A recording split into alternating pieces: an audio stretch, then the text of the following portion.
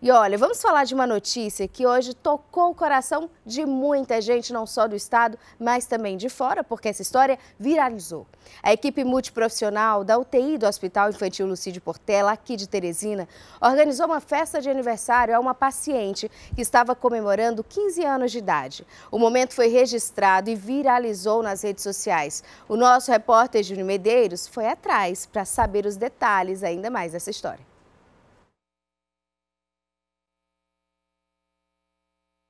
Pois é, Bia, um momento emocionante que foi registrado em vídeo pelos profissionais lá do Hospital Infantil Lucídio Portela, aqui em Teresina. A festa de aniversário foi organizada aí por diversos profissionais da saúde, como médicos, enfermeiros, técnicos, fisioterapeutas, psicólogas e assistentes sociais. A adolescente, a Francisca Joseane, ganhou na manhã desta terça-feira esta festa de debutante que foi organizada aí por uma equipe multiprofissional da unidade de terapia intensiva. O fisioterapeuta da paciente, o Rafael de Castro Lima, foi o príncipe que dançou a valsa com a jovem. O fisioterapeuta Príncipe, como é conhecido agora aí por todos, acompanha a jovem desde agosto de 2023 de duas a três vezes por semana. Em vídeo que foi enviado aí para nossa produção, ele falou desse momento emocionante lá no hospital. Vamos conferir. Foi um momento espontâneo é, e bem especial. A paciente Josiane, que já está com a gente só de tempo de internação de UTI, já tem mais de dois anos, completou 15 anos.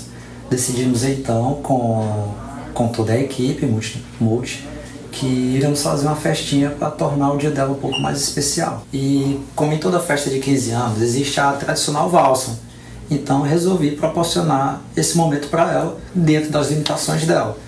Eu, com a ajuda da, da outra fisioterapeuta, a Rayane, minha colega, pus ela no colo e ela ficou segurando o suporte ventilatório dela.